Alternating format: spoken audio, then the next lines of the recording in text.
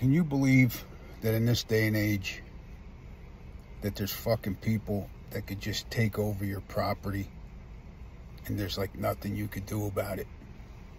Case in point is these these fucking squatters. It's happening all over.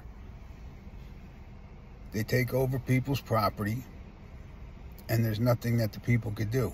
It's like a whole process to try and get them out. And I mean, most of the time it's rental houses or properties that are for sale, but it could be your fucking, your house. I mean, you could go to work. These fucking animals could come, break your locks, enter your house, eat your food, watch your TV, sleep in your fucking bed. And when you come home from work and you see these people, you can call the cops. And the cops are going to come and tell you that there's nothing they could do. It's a, it's a civil um, problem or a civil case. I don't understand what the fuck is going on here. Like, I'm personally for me, they should be dragged out of the fucking house and beaten with ball peen hammers on the front lawn, and that's what'll stop it. Because there's no two ways about it. Squatters have to be dealt with with violence. There's no question in my mind. But how in the fuck could this happen in this country? That this and it's going on everywhere. Nice neighborhoods, bad neighborhood, every fucking where. These animals, they move in, they bring their friends, their family, their dogs. And then when they finally do get them out, which takes months and who the fuck knows how much money and before they leave, they destroy every fucking thing. They smash the tile, they break the bathrooms, they rip all the fucking TVs down, they break the sheetrock, and then they laugh and they leave. And the homeowner that, that got fucked from the beginning, they gotta they gotta pick up the pieces. It's fucking wrong, man.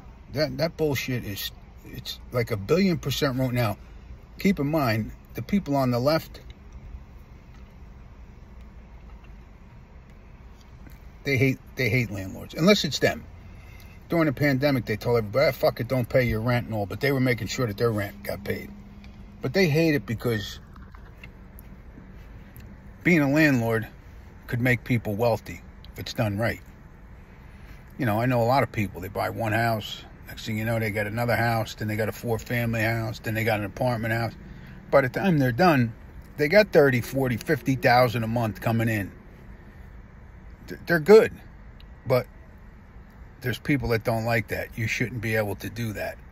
I mean, some of these fucking idiots think that they should just give people houses to live in free like they want to do in California. Those fucking dopes. But this is something that uh, something's got to be done. I mean, really, something has to be fucking done.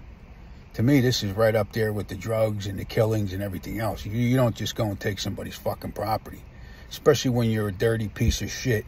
You know exactly what the fuck you're doing and you think it's funny. Like I said, it, it should be met with violence as far as I'm concerned. But I just can't believe that it happens. I mean, how much more fucked up could things get? It's your property. You killed yourself to get it. You're paying the fucking bills.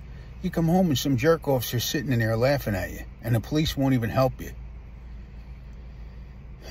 it's coming, ladies and gentlemen. It's coming.